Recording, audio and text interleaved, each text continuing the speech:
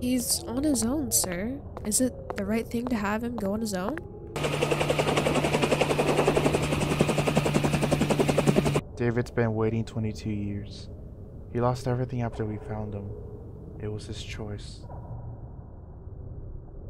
I've been through too much already. I've been waiting for this moment. Now, it's between him and Bridge Bridgeworm.